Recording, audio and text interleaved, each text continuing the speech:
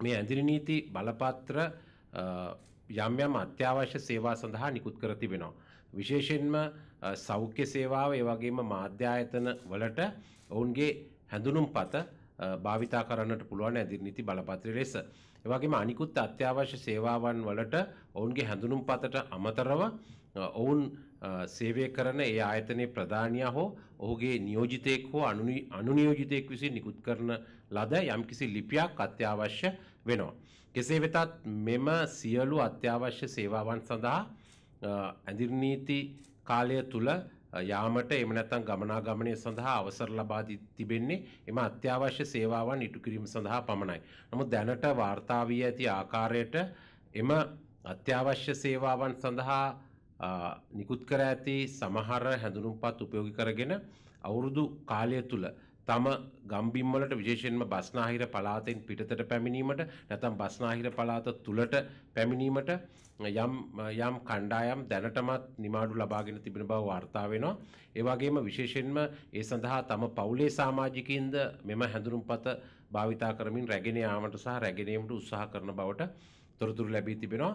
යම් අවස්ථාවක තමන්ගේ නිවසේ හෝ නැවතී සිටින ස්ථානයේ සිට රාජකාරි ස්ථානයටත් රාජකාරි ස්ථානයේ සිට නිවසටත් එමත් නැත්නම් තමන් යම් අත්‍යවශ්‍ය සේවාවක යෙදෙන්නේ නම් එම සේවාවත් සඳහා පමණක් මෙම හැඳුනුම්පත් භාවිතා කිරීමට අවස්ථාව සලසා දී තිබෙන්නේ. එය අවභාවිතා කරමින් කටයුතු කළොත් ඉතා දැඩිව නීතිය ක්‍රියාත්මක කිරීමට බලාපොරොත්තු වෙනවා. විශේෂයෙන්ම මේ ඇදිරි නීතිය කඩ කරන්නන් 19000ක් අත්අඩංගුවට ගැනීම ඒ වගේම අද දිනේ පැය 24ක කාලය තුල 1700ක් අත්අඩංගුවට ගැනීමෙන් පෙනී යන්නේ පැහැදිලිවම තවමත් ඇදිරි නීතියට යම් යම් කණ්ඩායම් ගරු නොකරන බව.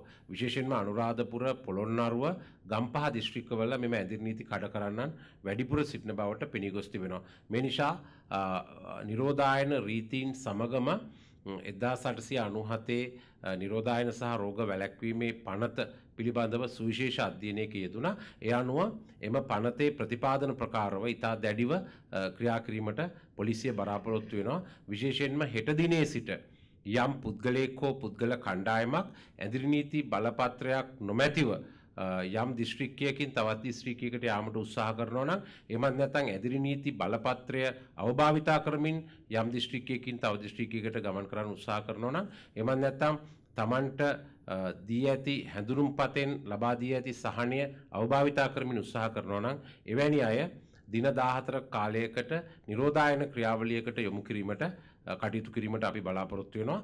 විශේෂයෙන්ම ශ්‍රී ලංකා පොලිසිය නීතිය ප්‍රතිපාදන අනුව මෙම තීරණය ගෙන තිබෙන්නේ මෙම රෝගය ව්‍යාප්තවීම වැලැක්වීමට සෞඛ්‍ය බලධාරීන්ගේ උපදෙස් පරිදි. විශේෂයෙන්ම ඔබ හැමෝම දන්නවා බස්නාහිර පලාත තුළ තමයි මේ රෝගීන් වැඩි ප්‍රමාණයක් හමු වී තිබෙන්නේ මේ 180කට ආසන්න රෝගීන්ගෙන් යම් කිසි කෙනෙක් අවුරුද්ධ සැමරීමට හෝ දෙමව්පියන්ට සැලකීමට හෝ එසේත් නැතිනම් වෙනත් ඥාතීන් බැලීමට බස්නාහිර පළාතෙන් පිටතට යනවා කියන්නේ නැත්නම් බස්නාහිර පළාතට පැමිණීම මෙම රෝගය ව්‍යාප්ත වීමට ඍජු හේතුවක් වෙන්න පුළුවන්. ඉතින් ඒ නිසා අපි හැමෝගෙන්ම ඉල්ලා සිටිනවා මේ අවුරුද්ද අපි ඉන්න තැන ඉඳලා සමරමු. ඒ වගේම එහෙම නැත්නම් අපි පවුලේ අය එක්ක විතරක් සමරමු. මේ වසංගතය දුරු කරාට පස්සේ අපිට අවුරුදු කන්න අවස්ථාවක් ලැබෙනවා. ඒක තමයි කරන්න තියෙන ආයාචනය. නමුත් කිසිම හේතුවක් මත දිස්ත්‍රික් සීමාවන් හරහා ඇදිරිනීති බලපත්‍ර අවභාවිතා කරමින් හෝ ඇදිරිනීති බලපත්‍ර නොමැතිව ගමන් කරන්නේ නම් ඔවුන්ට අනිවාර්යෙන්ම දින 14ක නිරෝධායන මධ්‍යස්ථානයක නිරෝධායන කටයුතු වලට සහභාගී වීමට සිදු වෙනවා ඊට අමතරව ඔවුන්ට එරෙහිව අධිකරණයේ නඩු පැවරීමට කටයුතු කරනවා